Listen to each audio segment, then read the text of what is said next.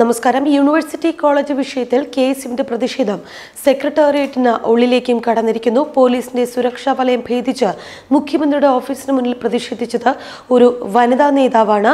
മൂന്ന് വനിതാ പ്രവർത്തകരാണ് പോലീസ് ഒരുക്കിയ വലിയ സുരക്ഷാ വലയം ഭേദിച്ച് സെക്രട്ടേറിയറ്റിനകത്ത് കടന്ന് മുദ്രാവാക്യം വിളിച്ചത്. അതിലൊരാൾ മുഖ്യമന്ത്രിയുടെ ഓഫീസിന് താഴെ വരെ എത്തി മുദ്രാവാക്യം വിളിക്കുകയായിരുന്നു. കെ എസ് യു സംസ്ഥാന സെക്രട്ടറി ശില്പയാണ് സെക്രട്ടേറിയറ്റ് വളപ്പിൽ കടന്ന് പ്രതിഷേധിച്ചത്. അഞ്ച് മിനിറ്റോളം നീണ്ട പ്രതിഷേധത്തിനൊടുവിൽ വനിതാ നേതാക്കളെ അടക്കം അറസ്റ്റ് ചെയ്ത പോലീസ് നീക്കിയിട്ടുണ്ട്. പത്രയോടുകൂടിയായിരുന്നു പോലീസിനെ വെട്ടിച്ച് സംഘടനാ കൊടിയുമായി ഭരണസിരാ കേന്ദ്രത്തിൽ കടന്നുകയറിയത്. കെ എസ് യു സംസ്ഥാന പ്രസിഡന്റ് സെക്രട്ടേറിയറ്റ് പടിക്കൽ നടത്തുന്ന നിരാഹാര സമരത്തിലുണ്ടായിരുന്ന പ്രവർത്തകർ മതിൽ ചാടിക്കടന്ന് പ്രതിഷേധിക്കുകയായിരുന്നു സമരപന്തലിൽ കോൺഗ്രസ് നേതാക്കളായ തിരുവഞ്ചൂർ രാധാകൃഷ്ണനും വി ഡി സതീശനും അടക്കമുള്ളവരും ഉണ്ടായിരുന്നു. അതിനിടയ്ക്കാണ് മൂന്ന് വനിതാ പ്രവർത്തകർ സെക്രട്ടേറിയറ്റിന്റെ മതിൽ ചാടിക്കടന്ന് സുരക്ഷാ ജീവനക്കാരെ എല്ലാം വെട്ടിച്ച് മുദ്രാവാക്യം വിളിച്ചുകൊണ്ട് സെക്രട്ടേറിയറ്റിന് ഉള്ളിൽ പ്രവേശിച്ചത്. രണ്ടുപേരെ സുരക്ഷാ ജീവനക്കാരും പോലീസും പിടികൂടിയെങ്കിലും അതിലൊരാൾ നോർത്ത് ബ്ലോക്കിൽ മുഖ്യമന്ത്രി പിണറായി വിജയന്റെ ഓഫീസിന് മുന്നിൽ വരെ എത്തി. മുദ്രാവാക്യം വിളിക്കുകയായിരുന്നു ശില്പയായിരുന്നു ആ യുവതി. യൂണിവേഴ്സിറ്റി കോളേജ് സംഘർഷത്തിലും പരീക്ഷാ ക്രമക്കേടിലും നടപടി ആവശ്യപ്പെട്ട് കെ എസ് യു സെക്രട്ടേറിയറ്റിന് മുന്നിൽ പ്രതിഷേധം നടത്തി വരികയായിരുന്നു.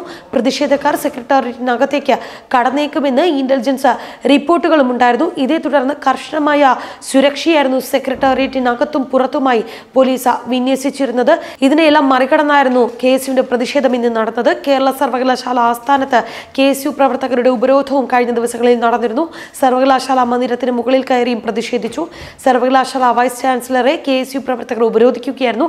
അതേസമയം തിരുവനന്തപുരം യൂണിവേഴ്സിറ്റി കോളേജ് രണ്ട് ദിവസത്തിനകം തുറക്കുമെന്നാണ് അറിയാൻ കഴിയുന്നത്. തുടക്കത്തിൽ പോലീസ് സംരക്ഷണയിൽ ക്ലാസുകൾ നടത്തുമെന്ന് കോളേജ് വിദ്യാഭ്യാസ അസിസ്റ്റന്റ് ഡയറക്ടർ അറിയിച്ചിട്ടുണ്ട്.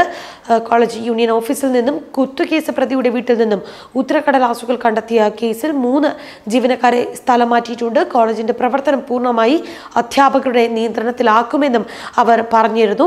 യൂണിവേഴ്സിറ്റി കോളേജ് സംഭവത്തിൽ യുവജന സംഘടനകളുടെ പ്രതിഷേധം രണ്ട് ദിവസമായി അതിശക്തമായി തുടരുകയാണ്. സർവകലാശാല ആസ്ഥാനത്തും പി എസ് സി ആസ്ഥാനത്തും യുവജന പ്രതിഷേധം നടത്തിയിരുന്നു. പി എസ് സി ചെയർമാന്റെ വീട്ടിലേക്ക് തള്ളിക്കയറാൻ ശ്രമിച്ച യൂത്ത് കോൺഗ്രസ് പ്രവർത്തകർക്ക് നേരെ പോലീസ് ലാത്തിച്ചാർജ് നടത്തുന്ന ഒരു അവസ്ഥ വരെ എത്തിയിരുന്നു കാര്യങ്ങൾ. കെ എസ് യു സംസ്ഥാന പ്രസിഡന്റിന്റെ സെക്രട്ടേറിയറ്റ് നടയിലെ നിരാഹാര സമരം തുടരുന്നതിനിടയ്ക്കാണ് പ്രതിഷേധവുമായി പ്രവർത്തകർ സർവകലാശാല ആ, ആസ്ഥാനത്തേക്ക് എത്തുന്നത്. മുദ്രാവാക്യം വിളിച്ച പ്രവർത്തകർ യൂണിവേഴ്സിറ്റി ആസ്ഥാനത്തിന് മുകളിൽ കയറി പ്രതിഷേധിക്കുകയായിരുന്നു. പിന്നീട് വൈസ് ചാൻസലറെ ഉപരോധിച്ച പ്രവർത്തകരെ പോലീസ് അറസ്റ്റ് ചെയ്ത് നീക്കിയിരുന്നു.